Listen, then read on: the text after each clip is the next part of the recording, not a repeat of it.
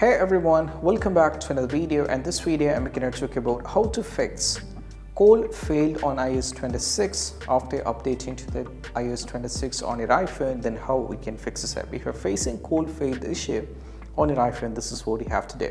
And the first and first step is all about you just need to go over here. Make sure that you turn on the airplane mode then just wait for 20 seconds.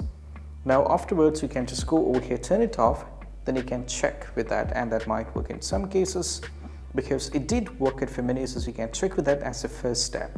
If not what you need to do is you just need to move to the next one. That is all about you can just do a force restart on your iphone. Sometimes you know it, it might be a glitch so you can try with the force restart. So if you want to do a force restart you have to press the volume up followed by the volume down and press and hold the power button over here so to do so, you just need to go over here, press the volume up followed by volume down, press and hold the power button over here and it's not until you see the Apple logo.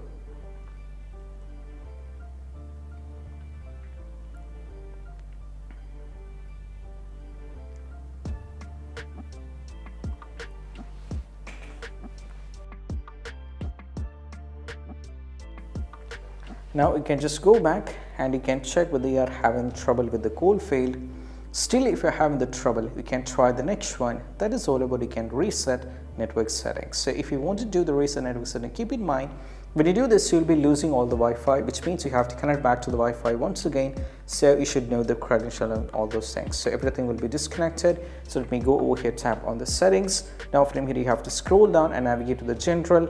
Now from here, you have to scroll down once again and navigate to the transfer reset iPhone. Now go to the reset over here and there is an option called reset network settings. Go for the reset network settings and afterwards you have to check and most probably that's going to work for you guys and this is what you have to do and I hope this quick video is helpful. That's it. Bye bye.